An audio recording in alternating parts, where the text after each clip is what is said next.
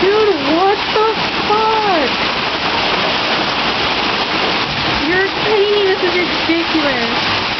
You have the top on your Jeep? Oh my god. Dude.